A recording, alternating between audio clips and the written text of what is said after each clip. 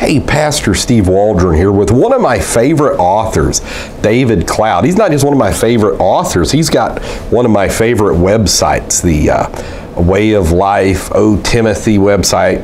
And uh, I just Google search David Cloud and it comes up. So I'm not, you know, it's Way of Life literature. But this is a tour de force. This is a mammoth tome on the Bible.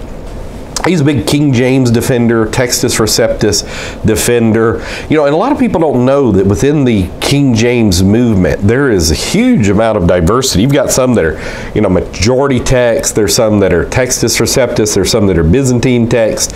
There are some that are King James only. There's some that would be, you know, whatever translations the Textus Receptus is in, on and on. So, like uh, he and Peter Ruckman would have had big disagreements disagreements, and uh, D.A. Waite with the Dean Burgon Society would have disagreements, and Edward F. Hills wouldn't believe exactly maybe like David Cloud. The way I look at it is they're all defending the truth, even if it's for the most part.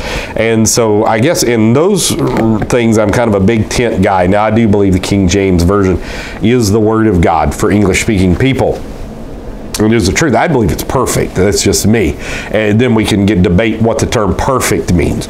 But uh, faith versus this is the blind leading the blind. Faith versus modern Bible versions, and he is a scholar of you know the top notch of the top shelf. Um, he does an enormous amount of research and just because he may not have a PhD or something, he's very holiness minded. He's got great books on Christians and clothing, but he's got he just does an immense amount of work. He's very against uh, worldliness, very much again into holiness. He's got uh, things on biblical geography, biblical doctrine. And so he is able to get historical resources I have never seen, never heard of. I'll just show you, this is kind of, I write myself notes, you know, in the front of books. This is, I was turning down pages here, but I got like Robert Dick Wilson there, the man who learned 46 languages. He learned 45, he was New English, uh, to defend the Bible's veracity tenfold defense of the King James Bible. um, we hold the King James Bible because modern versions are built upon a foundation of deception. That's true. And especially, this was before Sinaiticus and Vaticanus were really shown to be forgeries. And so he's already saying that. Um, we hold the King James Bible because evangelical scholarship is unreliable. That's true.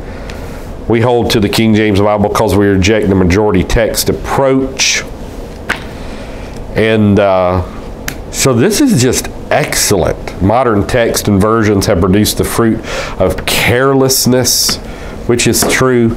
So uh, let's see how many pages is in this book. This is like 773 pages, 775 modern Bible versions, The Dark Secret by Jack Moorman, 356 doctrinal errors in the NIV and other modern, modern versions. That's by BFT. The Gnostics, the New Versions, and the Deity of Jesus. That's by J.P. Green, who did the King James too. So that would be excellent. Edward F. Hills, had a doctorate in New Testament textual studies from Harvard.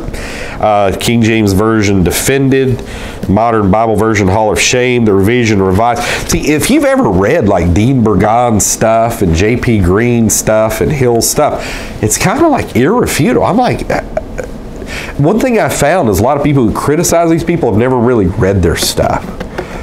And uh, even if they just read it to like pull out errors, they're not reading it from cover to cover. And it's the same way with evolution, creation. I just think people's never given it a fair shake. So this is a great book, Faith versus the Modern Bible Versions. I believe God inspired His Word and He kept it. And I believe this is the inspired Word of God. I don't think inspiration just sticks to the original autographs. I think this is the inspired Word of God. It is the true Word of God. It's the perfect Word of God. And uh, I pray you believe that too. God bless you. I love you in Jesus' name.